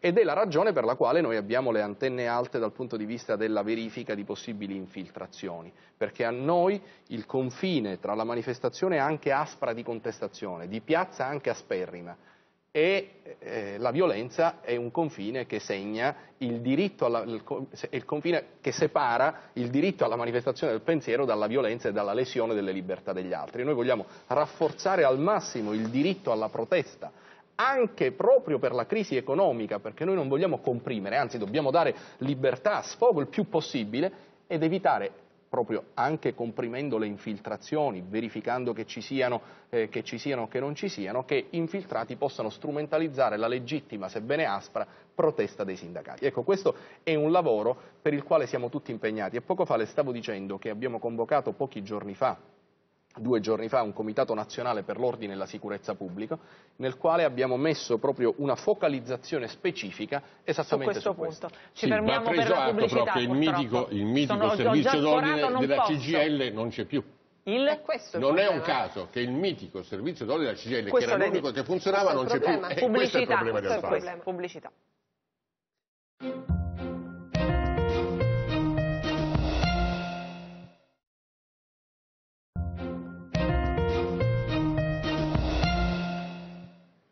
Allora, intanto dall'Australia arrivano delle dichiarazioni in agenzia del. Presidente del Consiglio Renzi che dice al G20 eh, l'Italia è libera, svincolata dal passato, non ci siamo limitati a cambiare governo ma anche passo. Così il Premier Matteo Renzi a margine del G20 ricorda tutte le riforme impostate nell'ultimo anno. L'Italia è finalmente libera, eccetera, eccetera. Poi le agenzie stanno anche rilanciando la Presidente della Camera Boldrini che oggi sulla stampa dice che la politica latita, che pagano gli immigrati e le periferie serve sicurezza per tutti e un'intermediazione no, la Boldrini no, per Però, favore. No, la vabbè, Boldrini no. Vi do qualche indicazione, però c'era Francesco Verderami, allora ci sono delle, come delle domande prenotate perché il dibattito No, no, continua anche nella pausa la pubblicità. pubblicitaria. Soltanto allora, durante la però eh, Francesco Verderami eh, voleva eh, aggiungere qualcosa alle letture che sono state fatte, quella mi pare forte che eh, fa dal suo punto di vista ovviamente eh, il Ministro dell'Interno che è anche il segretario del nuovo centrodestra, dice è uno, lo scontro, anche questo clima che c'è si deve molto a una, una collisione fra due sinistre che non erano mai entrate in conflitto in questo modo. Allora, eh, Francesco Verderami, avevi una- un passo ulteriore No, rispetto eh, a il questo. punto è questo, eh, prima con i colleghi, con eh, Fabio Martini e poi con eh, Panella, si appunto sostenevano che c'è uno scontro eh, nelle piazze, democratico naturalmente, tra queste due sinistre. Adesso questo scontro si riprodurrà nelle urne con il referendum proposto eh, da, Salvini Camus. dalla Lega e da questa strana alleanza. E tutto ciò può avere un'unica ricaduta politica, che è quello della rottura del Partito Democratico e della nascita, attraverso questi passaggi politici così dirompenti, del famoso Partito della Nazione. Non dimentichiamoci che qualche giorno fa Civati, che di Renzi è molto amico e che conosce Renzi per averlo frequentato ai tempi delle Leopolde quando tutti li prendevamo un po' Ora in si giro, odiano, sono diciamo. stati sì, amici. sì, sì, ho capito, ma non è questo il punto, il punto è che lo conosce bene, mi interessa questo, dice che Renzi sta, sta puntando a un grande partito di centro e quindi si potrebbe parafrasare dicendo che questo partito della nazione che nasce, che sta prendendo forma in questo modo, eh, potrebbe essere quel famoso partito di centro che guarda a destra e a sinistra. E la E domanda allora allora, eh, è, certo. ma interessa la merce al presidente eh, del, del- del DNCD una cosa del genere? E quanto può interessare sia a lui che per esempio allo stesso Berlusconi? Gli interessa ma non lo può dire. Scusa, Beh, sentiamo. glielo facciamo dire? Grazie. No, dico, invece dico il contrario, altro che io sostengo questo. La sinistra è diventata un partito unico, fino a, fino a immaginabile o possibile scissione, perché quando un partito della sinistra supera da solo il 40%, è come se fosse diventato un partito coalizione da solo. Nel campo avverso ci sono il mio partito, che è un eh, partito moderno, popolare, che decide, avendo un'identità forte e riconoscibile, di collaborare con il PD senza paura, sapendo che il PD non è comunista, ma c'ha uno come Renzi che per ora lo guida. Vado all'essenziale, non faccio troppi fronzoli. Dopodiché c'è una roba fuori dall'Europa, usciamo fuori dall'Europa, eh, torniamo alla liretta da svalutare, eh, cancelliamo Schengen, cioè torniamo al trattato di Yalta e alle frontiere della seconda guerra mondiale, e sta cosa brutta si chiama Salvini. In mezzo c'è Forza Italia. In crescita nei sondaggi. Salvini. Salvini. Ma guardi, allora faccio una parentesi. Che Salvini cresca nei sondaggi è assolutamente fisiologico come è cresciuta la Le Pen in Francia, come crescono movimenti come è successo a Grillo eh, l'anno scorso, due anni fa, Podemos in Spagna, l'UKIP in Inghilterra, è un fatto che si sta verificando in tutta Europa. Ma a noi, tra avere una Lega al 5, al 6 o al 7 che contribuiva al successo del centrodestra e averne una al 12 che lo fa perdere sicuro, preferivamo il meccanismo di prima. Io le faccio già un esempio. Le grandi regioni del nord la Lega le aveva, Lombardia, Veneto e Piemonte. Già ha perso il Piemonte, tra poco ci sarà il Veneto, vediamo se, se- se Salvini farà andare avanti o indietro il centrodestra e la Lega per i governi sul territorio. Chiudo la parentesi sulla Lega, torno al punto. Quindi noi abbiamo un centrodestra riformatore moderno che provvisoriamente collabora con il PD che non è comunista e renziano, questo sono io, cioè noi. L'altro che è Salvini che sta facendo una cosa che dice agli italiani, sai, se Eh. torniamo alla liretta da svalutare starete meglio, se le, cioè se rialziamo le frontiere starete meglio, se usciamo dall'Europa starete meglio, secondo me imbecillità cosmiche, però le dice. E questa cosa non mi piace, in mezzo c'è Forza Italia E e, sta, nascendo una- sta nascendo un qualcosa di molto, sta nascendo un qualcosa eh, di molto importante con la legge elettorale che dà il premio alla lista. Questo può innescare un sistema politico nuovo dove ci sono due grandi soggetti che si confrontano, uno a sinistra e uno a destra. Quello della sinistra già esiste, quello di destra già no, perché Forza Italia si è rimpicciolita dal 14-15 nei sondaggi. Allora, o si innesca un fatto politico e quindi rispondo alla domanda di Verderami, o si innesca un fatto politico a destra che ricompone su base programmatica un unico pilastro che sia una lista unica di centrodestra da contrapporre a Renzi, oppure il centrodestra italiano farà la fine dei conservatori inglesi dopo la Thatcher, per cui arrivò Blair, governò vent'anni e hanno dovuto aspettare uno eh, come Cameron vent'anni dopo per tornare al governo dell'Inghilterra. Quindi lei deve riparlare con La, Berlusconi. la sfida, la sfida è questa. Allora, in questo momento io credo che i tempi non siano brevi e fortunatamente la legislatura è lunga. Questo lei lo pensa veramente? Sì, lo penso veramente perché ehm, sto alle dichiarazioni pubbliche del Presidente del Consiglio, sto al nostro programma di governo e sto alle conversazioni private tra me e Renzi che sono frequenti, numerose e abbastanza intense dal punto di vista del contenuto. Per cui io so bene che è interesse dell'Italia ed è interesse del Presidente del Consiglio ed è, mi sia permesso di dire, per le condizioni attuali del centrodestra, anche interesse del centrodestra, che il eh, governo vada avanti e poi, scusi, io qui svelo il segreto di Pulcinella, ma quando il principale leader del centrodestra, ossia Silvio Berlusconi, che è il leader del partito oggi più consistente di centrodestra, firma un documento con il Presidente del Consiglio, in cui lui, leader di opposizione, dice che la legislatura deve arrivare al 2018, non è che io sto svelando il segreto No, di Pulcinella, però- ma se quello dell'opposizione dice che il governo deve Ma arrivare secondo lei c'è al scritto 2000 anche altro, dice Carlo No, De scusi, Benedetti, diceva in un'intervista che non voglio essere, non voglio No, essere ma- polemico con i giornalisti, non Eh. voglio fare un, diciamo, un dibattito tra me e i giornalisti e polemico con i giornalisti, ma come hanno fatto i tanti commentatori accorti che popolano le prime pagine dei giornali a non sottolineare che è un caso credo unico nella storia del mondo politico del mondo e del mondo geografico, che il leader dell'opposizione firma non un accordo sulle riforme con il capo del governo, perché questo ci sta ed è anche, come dire, Ma solo un accordo per la non durata. consueto, non consueto, ma importante. Ma che firma pure l'accordo e dice siamo d'intesa che questa legislatura arriva al 2018. In teoria chi fa l'opposizione dovrebbe dire siamo d'accordo sulle riforme, ma è chiaro, ma immediatamente completato il altro percorso secondo delle? C'è immediatamente scritto no, altro, scusi, il Quirinale, immediatamente ne so, No, però, scusi, posso- immediatamente No, completato il percorso delle riforme.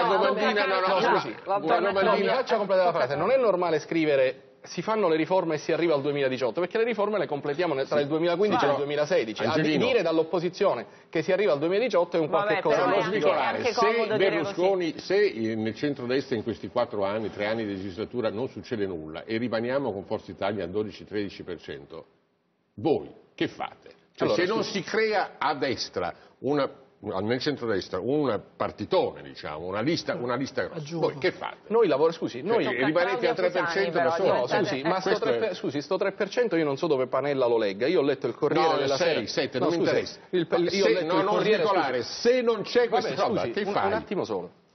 Innanzitutto noi, dalla somma tra noi e l'UDC, da tutti i sondaggi diuturni e quelli che ho letto sul Vabbè. Corriere consolidato, noi siamo intorno al 5%. Vabbè. Fermo rimanendo questo, scusi, fermo rimanendo questo, e secondo me siamo destinati a crescere perché diciamo cose di buon senso. Fermo rimanendo questo, la scommessa non è superare le soglie che abbiamo già superato e la nostra grande vittoria nella legge elettorale non sono state Vabbè, le soglie però- ma Ti l'introduzione... propongo al Ministero Eh, degli Esteri, scusami, ma l'introduzione, ma de- no, forte. ma l'introduzione delle preferenze. Io che non, de- non sono- non devo essere diplomatico, ma devo essere veritiero, ti dico, noi lavoreremo per la ricostruzione di un centrodestra competitivo. E siamo convinti che il centrodestra è competitivo se non dice che bisogna uscire dall'Europa e dall'euro, ma se dice cose... Questo è chiaro, che- insomma, la Lega Eh, non la capito, volete sì, tra... Non può rispondere, No, scusa. no, non no, però, non Panella, mi- mi Ti scusi. sto dicendo, se non ci riesci, Ho capito, ma io... se eh, non ci riesci, Panella, per colpa scusa. non tua, ma di Berlusconi, No, del ma- centro eh, se eh, rimane una frammentazione cosa che può succedere, è successo in Inghilterra e altre parti, eh, in Francia, una frammentazione del centrodestra come vediamo oggi, perché non per colpa vostra, una... ma se succede questo, voi che fate rispetto al eh, faro è elemento di attrazione il partito della nazione che peraltro rompe con la tradizione comunista, perché questo è il tema dei prossimi mesi. Allora, io ripeto- So che ti è No, difficile credo- no, rispondere. io credo, fra l'altro, di avere già risposto. Poi, siccome non siamo un telequiz e e manco i quiz quelli per entrare alla, alla facoltà di medicina, non è che devo No, mettere la X è un sulla problema di risposta. scenari. No. No, dico, fra tre anni non lo so, perché Dio solo sa se avremo la salute fra tre anni Mm. e preghiamo il Signore di darcela. Ma la questione di fondo è l'obiettivo che ciascuno si prefigge e il mio obiettivo è ricostruire un- il centrodestra. E quello è l'obiettivo. Poi se fra tre anni non sarà Claudia possibile, che ne Fusani, so. Claudia Però- Fusani sarà fa la però quello, Sarà l'obiettivo flash. sul quale noi lavoreremo, l'obiettivo Eh, sul quale noi lavoreremo è quello lì. Claudia. Velocissima. Allora, due cose. Eh, la prima, come può un ministro dell'interno in un paese come questo, con la sinistra che si sta spaccando, con la destra che non si sa che fine farà, con le tensioni sociali che ci sono, come può un ministro dell'interno fare anche il segretario di un partito che ha alcuni problemi di identità in questo momento forte? Prima domanda. Seconda domanda. Se eh, il rischio, eh, allora sappiamo che per esempio il, il- il consulente ehm, eh, Taddei per il lavoro, riforma del lavoro e riforme economiche è sotto tutela e non solo lui. responsabile economia e lavoro del Responsabile economia e lavoro, responsabile è, è- è quello che ha scritto in parte Eh, certo. anche il Jobs Act, eccetera. Eh, quindi, e non solo lui, non solo lui, sono tornati sotto tutela. Quindi a che livello di rischio siamo per questi che una volta, non tanto tempo fa, erano gli uomini cerniera? Però la prima domanda è come può un ministro dell'interno in una situazione così complessa conciliare anche il ruolo di segretario del suo partito? Forse dovrebbe ri- rinunciare a uno dei due. Io fossi in lei rinuncerei a fare il segretario del partito perché il ministro dell'interno è una bellissima sfida. La, la ringrazio per la domanda perché eh, mi dà eh, modo di dire con il dizionario dei sinonimi e non di quello dei contrari quello che ho detto poco fa. In questo momento il Presidente del Consiglio dei Ministri è a rappresentare tutti gli italiani, quelli di destra e quelli di sinistra, al G20. Ieri è passato dalla Romania a fare campagna elettorale per il suo partito europeo che è il Partito Socialista. Non si capisce perché Renzi, che fa di più perché fa il Presidente del Consiglio, non fa solo il Ministro dell'Interno. Il Presidente del Consiglio fa tutto, quindi questo è un problema delle democrazie moderne. Ci sono delle, leader- delle- leadership che si esprimono Il anche suo attraverso ruolo è il ancora governo. più delicato. Lei non Sì, può essere guardi, assente se ci posso- sono scusi, delle ma infatti, manifestazioni. guardi, ma infatti, dovrebbe scusi, stare fisso posso, al Viminale. Posso dirle, se lei fa un sondaggio al Viminale, io credo che sarà capitato ai commessi tante volte di farsi beccare senza la divisa perché sono arrivato troppo presto al mattino e di avere cambiato due turni perché sono andato troppo tardi la sera. Stamattina all'alba sono venuto qui, adesso sto andando a Napoli a fare insieme al ministro Pinotti una cessione di beni eh, che eh, riguarda la Nunziatella e il demanio. Poi nel pomeriggio sarò nuovamente a Roma per difendere la famiglia e le politiche a sostegno della famiglia in piazza e pubblicamente e stasera sarò a ritirare un premio per la lotta alla mafia giù in Sicilia. Quindi questa è la mia giornata di oggi e le assicuro che oggi è sabato e non è un'eccezione. Quindi al di là del fatto che sono tra i ministri più giovani del governo e sono dotato di sana e robusta Costituzione e lavoro molte ore al giorno, il punto politico è che nelle democrazie moderne i leader fanno anche le azioni di governo. Le risulta che il cancelliere Merkel, che non è proprio una che ha troppo tempo a disposizione, quando la sono andato a trovare mi ha dato appuntamento alla sede della CDU, alla sede del suo partito, e, pa- e pa- trascorre il cancelliere tedesco un giorno la settimana presso la sede del suo partito. Il, premier, il primo ministro io, spagnolo... io no, questa scusi, domanda gliel'ho fatta Vabbè. perché molte delle cose che le sono state contestate in questi mesi nascono guardi, proprio da un guardi, doppio ruolo ma guardi, che le posso dire una cosa, è una solenne... Parlo caso è- ma è- ma è- ma ma è una solenne ipocrisia, è una solenne ipocrisia domanda e le aggiungo anche un altro, eh, dottoressa, le aggiungo anche un altro elemento. Ora, senza volere fare troppo- troppi complimenti al mio partito, ma noi abbiamo un coordinatore nazionale, si chiama Gaetano Quagliariello, che fa un lavoro dalla mattina alla sera, quindi volersi accanire con me su sto discorso, però Beh, insomma l'abbiamo già che detto. insomma, è chiaro come... la- Vado, vado alla seconda domanda su Al Taddei. caso Taddei, perché- Allora, il, il caso Taddei. Il sistema delle scorte è stato più volte nel corso degli anni passati sottoposto a stress eh, da due lati di ipocrisia. Ce ne sono troppe, le avete tolte alle persone sbagliate.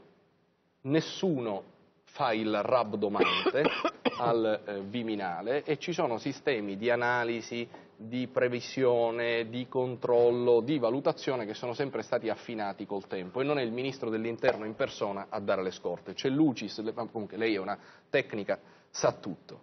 Però vado al cuore della sua domanda. Lei ha perfettamente ragione, la mia risposta è sì.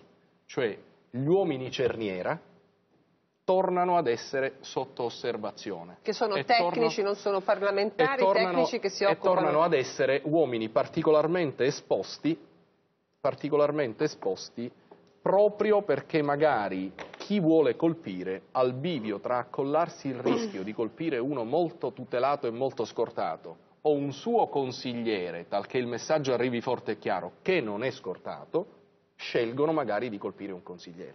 Per cui il nostro livello di attenzione al- e, e l'input che io ho dato è di attenzione elevatissima, quindi Questo elevatissima l'attenzione e anche esistono l'input è ancora dei, dei gruppi, cioè che Ma è ovvio che esistono, ma perché è un problema eh, drammatico di cui la CGL della Camusso e di Cofferati si devono fare carico, non perché loro abbiano il minimo rapporto con delle organizzazioni eversive, ma devono prendere atto, e Landini, che io giudico ottima persona, deve prendere atto che quando tu fai una battaglia strumentale trasformando un oggetto di normale politica del lavoro in un simbolo, eh, come stanno facendo loro con tutt'altri obiettivi e piani, poi dopo c'è- si crea uno spazio per cui noi abbiamo in questo paese, non sono degli uomini scelti, Taddei fa parte del lungo elenco di giuslavoristi, di esperti del lavoro, Vabbè. che sono nel mirino e che sono Ecco, stati però, uccisi. sì, Cioè, sì, Landini non può però non tenere conto di di questa cosa, eh, però volevo... Sono le Brigate Rosse che le avevano chiamati uomini Però cerniera, vorrei eh. chiedere Non al noi. Ministro, ma, No, no, no, queste, ma questo Ministro, quindi capire- lei ci sta dicendo capire. queste organizzazioni eversive sono ancora, diciamo, esistono in qualche modo. Ma se non è esistono non si ricreano. No. Bravo, quello che stavo Se non esistono si ricreano. Possiamo far rispondere il Sì. Ministro, Però- naturalmente però, quello Carlo che dice lui Panella, ha un Carlo peso Panella-. Carlo Panella ha anticipato la mia risposta. E- e il compito della prevenzione è quello di capire in anticipo se ci sono eh, dei segnali che possono fare immaginare che alcune situazioni possano nuovamente venire a E crearsi. questi segnali li avete colti. E diciamo che non mancano segnali in questo senso. Eh, mi sia eh, permesso, e non è mia abitudine, citare eh, una cosa che ho detto in Parlamento, sia nell'informativa sul caso di, eh, degli scontri di Piazza Indipendenza, sia eh, poi durante la mozione che è stata presentata contro di me, io ho detto nell'un caso occhio alle parole, perché potete raccogliere dei frutti immediati, ma possono essere in breve tempo dei frutti avvelenati. Però la seconda la volta- possibilità di e la parlare, seconda volta, occhio alle parole, ho detto, per- cioè il concetto è questo, perché noi corriamo il rischio che una volta appiccato l'incendio non saranno sufficienti gli estintori di chi lo ha appiccato per spegnerlo. Quindi quello che io raccomando, ma lo raccomando davvero, è non usare la conflittualità in, ma- in materia di lavoro, non sulla riforma, ma le crisi industriali, i licenziamenti, come terreno di violentissimo scontro politico che può tracimare in alto. Però ad esempio una dichiarazione sono di Landini destinate anche a fare polemica, queste parole che dice perché... eh, Le ho già dette in no, Parlamento, no, no, questo no, massimo- no. una No, un dichiarazione momento, di Landini e Camusso, una La- dichiarazione eh, oggi Panella- di Landini e Camusso a favore di Taddei e a protezione di Taddei sarebbe eh, eh, assolutamente necessaria una dichiarazione, una presa d'atto di Landini e Camusso a favore di Taddei, il fatto che la CGL metta il suo servizio d'ordine a proteggere Taddei sarebbe, avrebbe un farlo. valore simbolico enorme. Taddei ma loro ieri ha detto tacciono. che lo sciopero generale è sbagliato. non Ma loro- ma appunto per questo, no, ma è ma la vita di Taddei, i colpo. Ma ma Però c'è un'ultimissima cosa che volevo chiedere al Ministro. Lei è stato contestato in vari casi, c'è stato il caso Shalabayeva, c'è stato il caso di, di quando trattò con le tifoserie, con Genia Carogna. Ma io trattai- No, non lei diretta, insomma ci fu... No, ci fu, lei fu, non ma era se uno- lei, non lei personalmente. Sì, ma voglio dire, ma se uno si distrae un secondo e sta... matrimoni eh, gay. però cioè, ci sono stati casi in cui lei, diciamo, è anche nel caso. Shalabayeva, lei Eh? dice che non c'era, eh, lei disse che non sapeva niente sul caso Shalabayeva, quindi anche lì non era lei, però è lei il ministro dell'interno. Allora le chiedo, c'è questo tema comunque che in Parlamento le sue ricostruzioni sono state spesso considerate non veritiere, come se lei è stato detto Alfano mente al Parlamento. Lei sente questo, Ma scusi, È questo successo a tema? tutti i ministri degli interni della storia repubblicana. Come? Non ho È sentito. successo a se tutti i può, ministri degli se interni può della storia rispondere il ministro, Carlo, era per lui, la No, domanda è Panella, non per Panella ha te. detto è successo a tutti i ministri degli interni. Io ne ho conosciuti i ministri degli interni eh, parecchi ed è successo a tutti. Però Le le mie- sue ricostruzioni sono Eh, state se- se mi- particolarmente ho capito, smontate. ca- Prego. scusi, l'ho capito che lei ci tiene a ad affermare questo, però come parlo da qui? Da Ministro dell'Interno, quindi Certo. vuol dire che il Parlamento maggioritariamente le ha ritenute vere e vedi caso quelli che le, le hanno ritenute non vere sono i miei avversari politici. E come si spiega sta cosa? Che se ne fregano della verità e dicono a prescindere, come direbbe Totò, che le cose che ho detto io non sono vere, ma pensi che ormai c'è un tale abuso delle mozioni di sfiducia individuali per cui la gran parte dei ministri sono stati sottoposti a mozioni di sfiducia individuali, quindi poi quelli di cui se, ne sono fregati non le hanno fatte manco calendarizzare, ma le hanno fatte tutte. Il Grazie. punto essenziale è che noi, da quando io sono ministro dell'interno, abbiamo retto con forza, grazie alle forze dell'ordine, 14.000 e oltre manifestazioni di ordine pubblico nel nostro paese. Abbiamo arrestato mafiosi, Vabbè. salvato vite umane, dato accoglienza e garantito libertà di manifestazione. Questi sono i risultati. Un mestiere Grazie, alla volta ci sarebbe meglio. Dobbiamo proprio chiudere, grazie ai nostri ospiti. Grazie ai nostri ospiti, buona giornata a tutti.